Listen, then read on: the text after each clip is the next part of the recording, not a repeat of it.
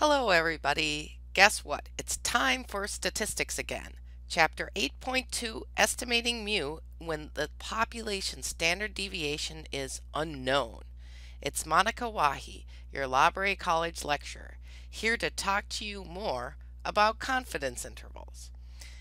Now at the end of this lecture, you should be able to state one way in which the z distribution is like the t distribution and one way in which they are different you should also be able to demonstrate how to find T sub C in the t-table.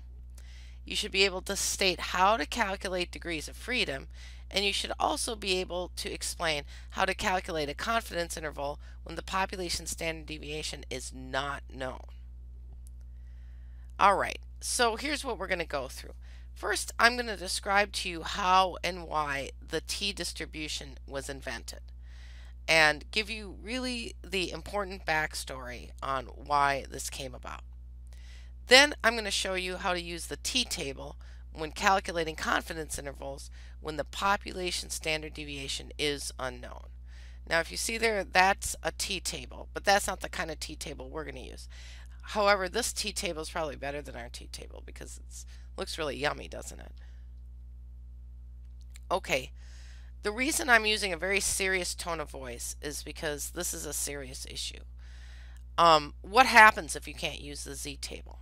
So I'm going to tell you about student's dilemma. Now, student wasn't really a student, okay?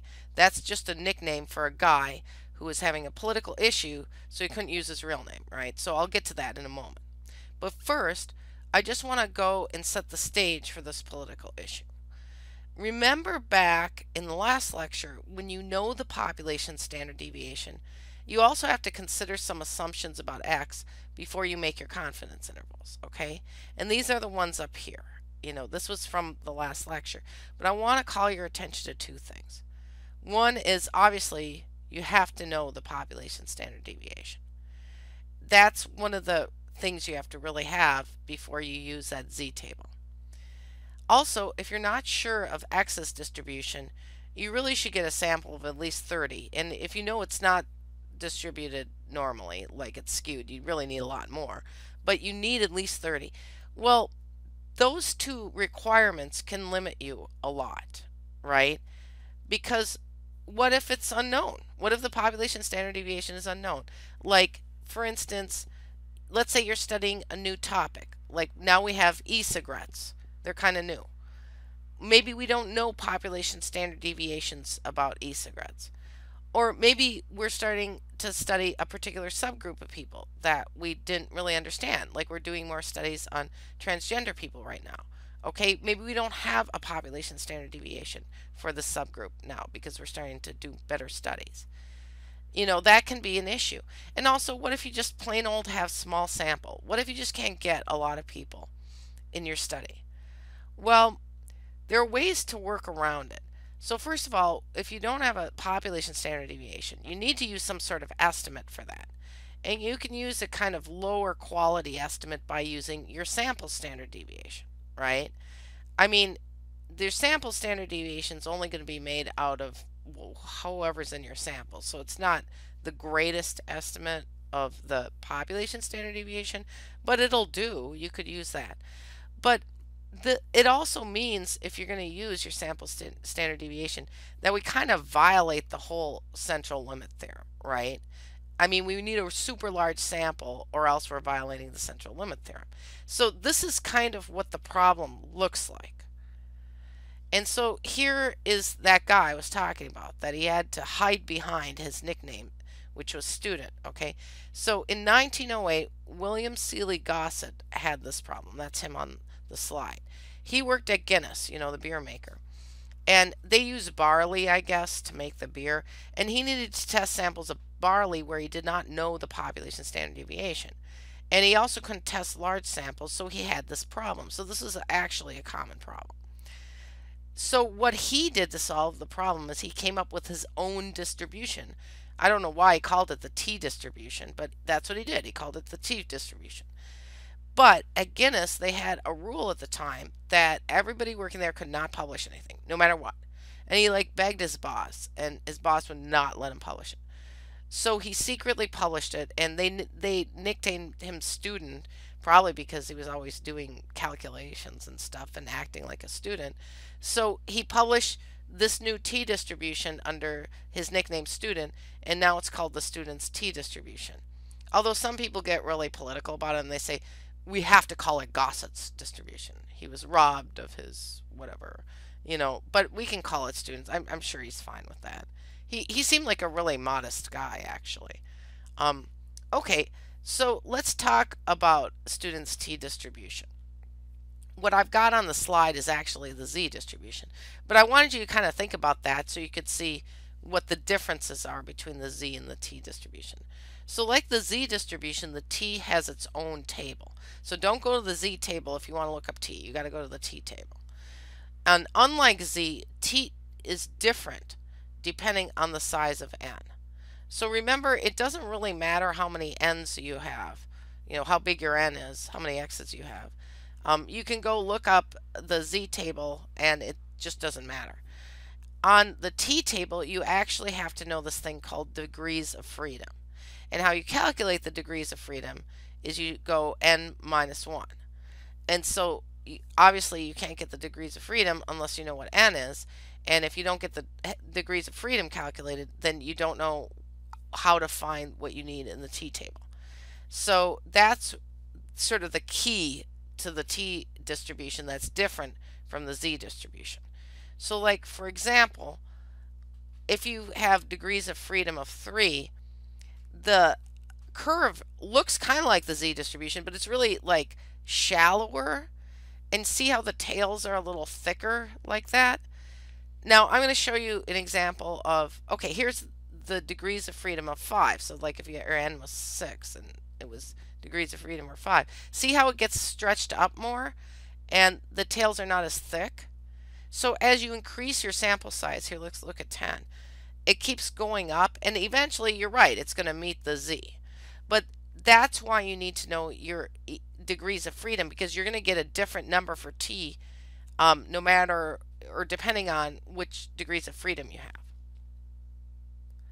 So I'm just going to review here these properties of the student's t distribution.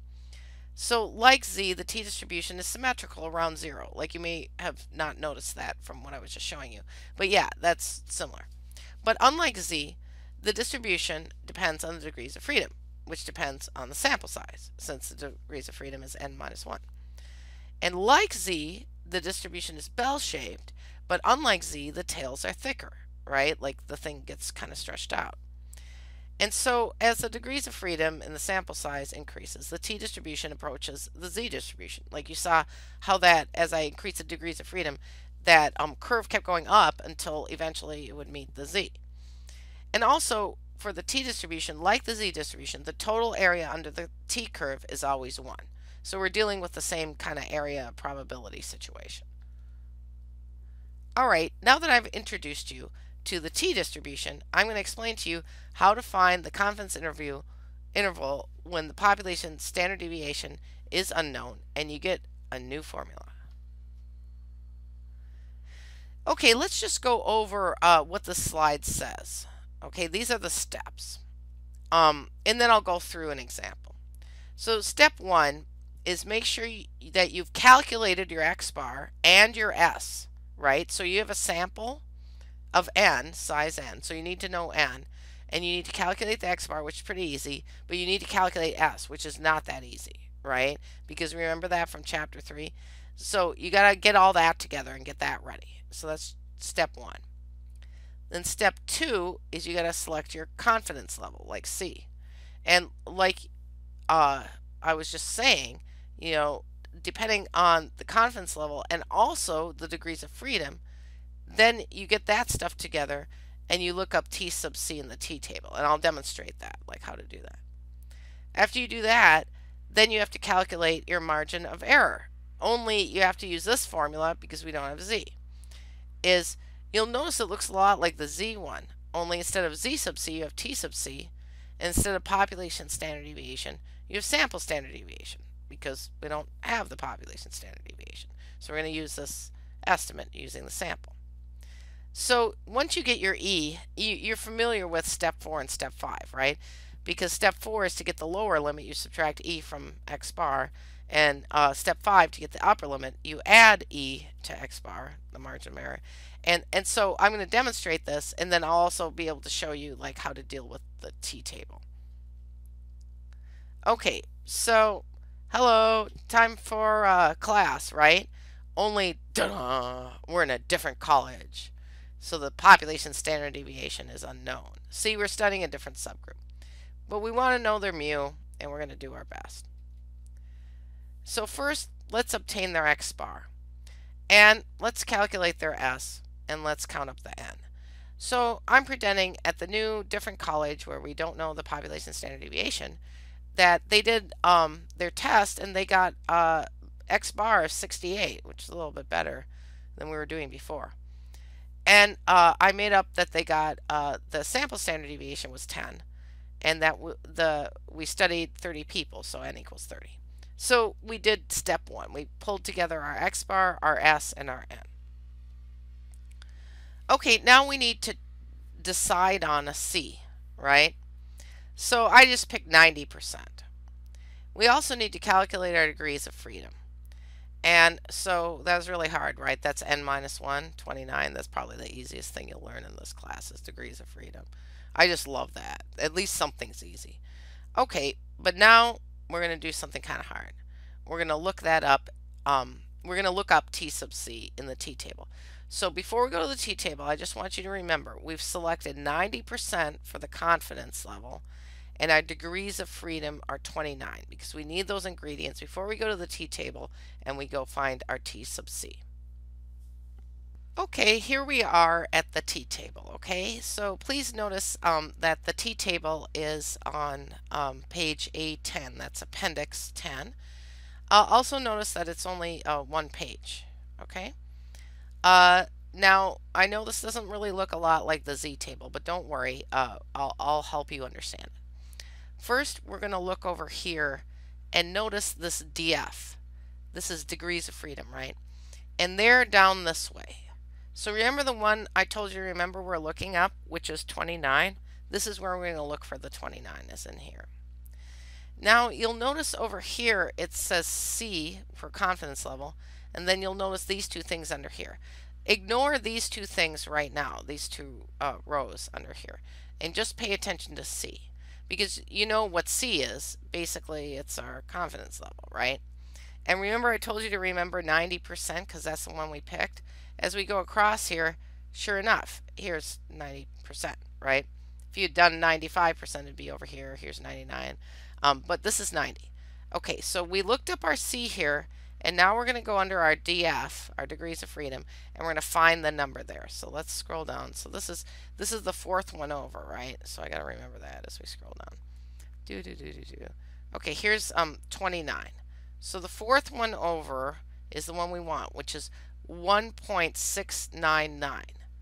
So as you can see, it matters what your degrees of freedom are because like if we'd gotten, for instance, uh, like 20, uh, we had degrees of freedom of 20, we'd have like a bigger t, meaning that would make our e, our margin of error, bigger, and that would mean that our confidence interval got wider, and that's the penalty we pay for having smaller sample. But here up at 29, we get a little discount. We get it a little smaller, 1.699. And as you get up there, you'll see that this just keeps getting smaller and smaller. You'll also notice that they start kind of cheating over here. After 30, they jump to 35, 40, 45, 50, because it's hard to fit all of this on one table. You'll find different tables. Sometimes they'll go out. But one of the things I want you to notice is that down here, it says like 120, and then it says infinity. And infinity, like over here, the 95%, 1.96, what's that? That's Z, right? So this is sort of the table version of what I showed you in a diagram. That if you get enough um, degrees of freedom, or sample size, n, then you end up just having z. So this is really to solve the problem like student had where you have small sample and also it's compounded by the fact that you don't have a population standard deviation. So just to remind you, when you go to the t-table, look up, look for C and choose your confidence level and then go down and go find your degrees of freedom, which ours was 29. And here we go. And now hold that thought. Remember this number, 1.699. All right, we're back. We looked up T sub C. That was a lot of work. So here it is. T sub C, 1.699. Okay, we did step two. Now we can move on to step three because we have all our ingredients. We're going to calculate the margin of error using this formula. So here we are calculating E. So we took our C, T sub C and we multiplied it by our standard error, which is 10 over the square root of 30, because 10 is our standard deviation and 30 was our n, and so that's how you make the standard error, right? So once we did that, we got 3.1 for our margin of error. Okay, great. And now it's all smooth sailing, right? We're used to 4 and 5, but let's just do it out here. So um, I added that margin of error to our list, so that's 3.1. So we subtracted uh, 3.1 from our x bar, which was 68, and uh, we added it to our x bar to get our lower and upper limits, 64.9 and 71.1. So this is what you say is, you know, we wanted to know, we said class from a different college, what is their mu? And you say, I am 90% confident that the mu of the class from a different college is between 64.9 and 71.1. That's how you say it. So just to recap, if you know the population standard deviation, like in the last lecture, then you have a very robust measurement of variation, right? Because it's based on the whole population. This allows you to use the z-table as long as your x is normal or as long as you have a lot of sample, right? So if your x is normal, you don't need as much sample, but if it's not or if it's iffy, you need a lot of sample. But if you have that population standard deviation, then that makes all the difference. And z-scores are smaller than t-scores, which means that your margin of error is always going to be smaller if you can use the z-table. So your confidence interval will always be smaller if you can use the z-table. So that means you have a more precise estimate of mu. So the smaller your confidence interval is, the more you kind of know where mu might be. And you like that. So using the z-table is great, and that's what's great about having a population standard deviation. But unfortunately, that's not always the case. Like with student, he had all these issues. And sometimes in um, healthcare, we have these issues because we can't get large samples of certain kinds of patients and or certain populations. And also, sometimes we just don't know their population standard deviation. It's, there's not going to be any way we can figure it out. So if you don't know the population standard deviation, then you really just don't have a very good measurement of variation in your data.